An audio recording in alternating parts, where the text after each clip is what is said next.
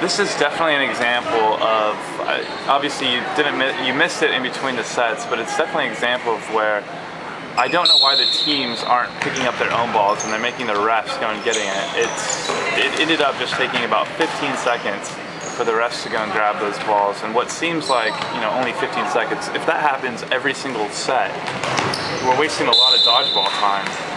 Uh, so yeah, I mean not just for these two teams, but every team, pick up your own balls. Don't be lazy. Claudia likes that comment. Thank you, Claudia. Tarkies already down by two. All-Star girls have really pumped it up off the half, winning that essential uh, first game after the half. Always essential to keep the momentum going. Oh!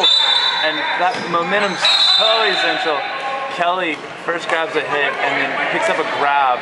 Unfortunately, then throws point blank at uh, double X of Tarkies and gets her own ball grabbed. So much action there. Didn't have a chance to breathe. Whoa, big big dodge by uh, big dodge by Ida there. All Star Girls still up by four, but two two players not easy to get out here.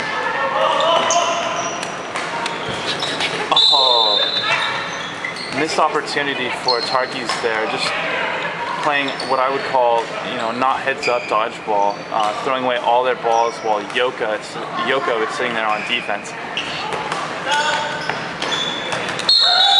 Huge by All Star Girls, really putting on the pressure there. Evens up the, the game 5 5.